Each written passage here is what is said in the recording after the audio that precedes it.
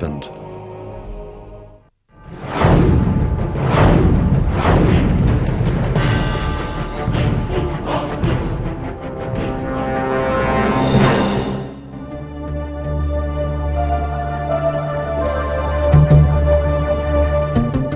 According to the theory of evolution, over the passage of eons, all living things descended from one another by means of gradual changes.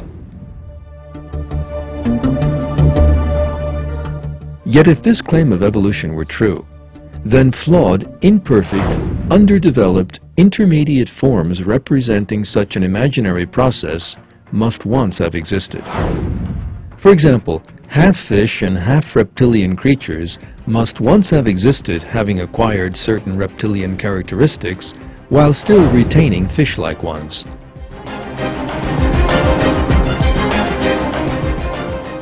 Or creatures displaying both reptilian and bird-like characteristics should have appeared.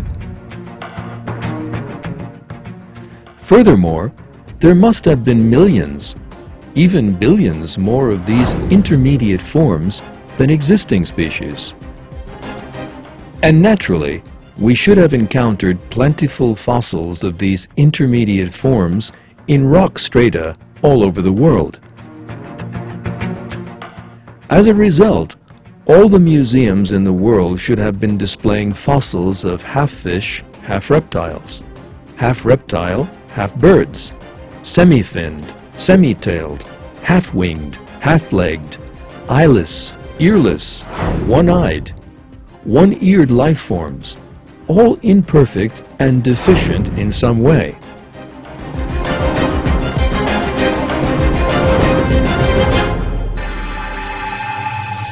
Darwin, who was well aware of this fact, said in his book, The Origin of Species,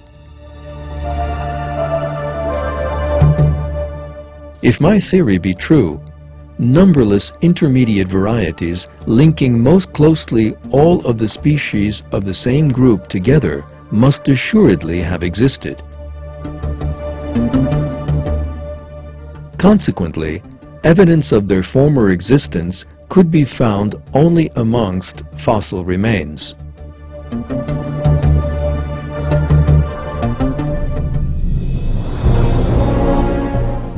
When we look at the fossil record, however, we see no intermediate forms at all. On the contrary, we encounter fully formed, flawless, complex, and perfect life forms. Those that have not gone extinct are no different from those living today.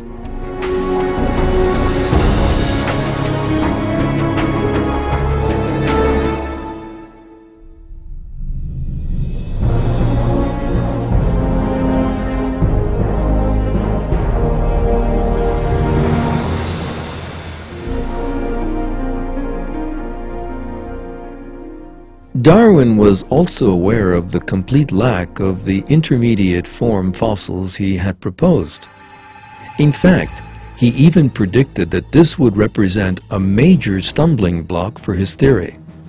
He therefore wrote the following in the chapter titled Difficulties on Theory in the Origin of Species.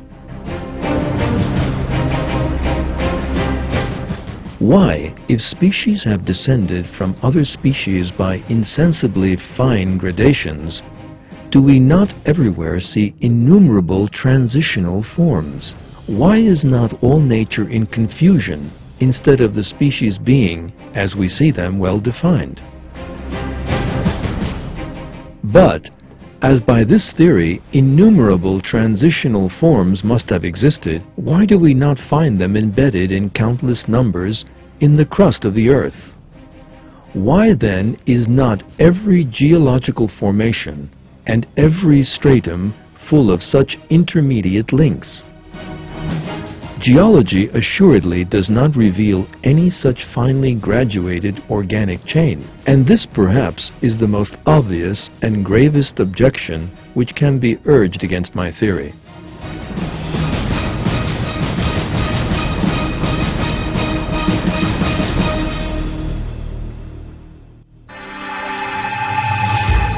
And Darwin's fears did indeed become a reality. For some 150 years now, evolutionists have been digging through the Earth's geologic strata, but have not encountered even one single intermediate form, of which there should, according to their own calculations, be trillions. Fictitious and deceptive concepts produced by evolutionists such as primitive life forms, gradual evolution, transition among species, intermediate forms, and missing links have been consigned to the realm of myth by living fossils.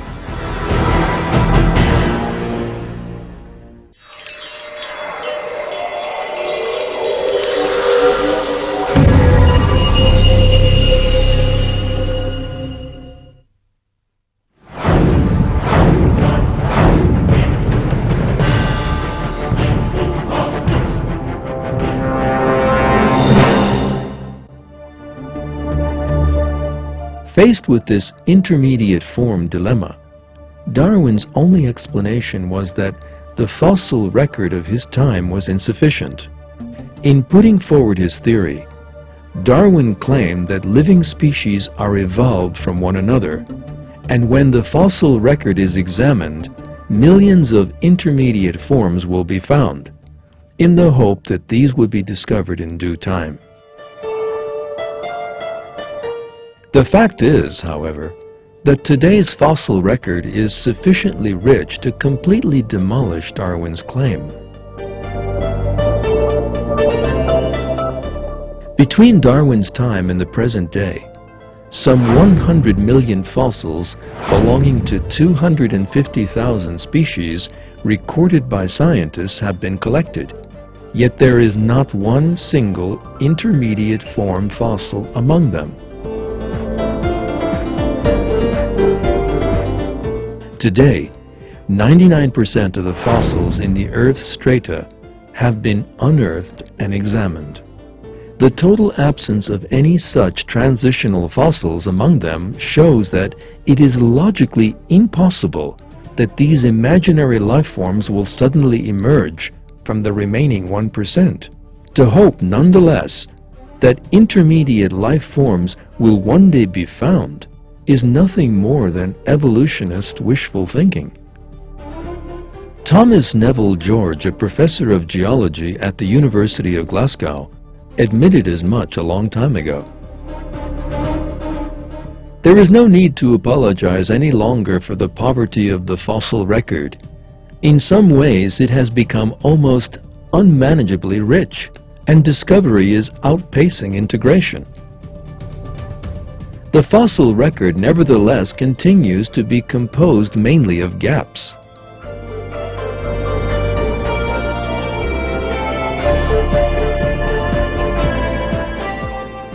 Evolutionists constantly attempt to answer the question of how life emerged and developed by resorting to speculation. But were they to interpret fossils going back hundreds of millions of years in an unprejudiced and objective manner, they would easily find the answer to that question.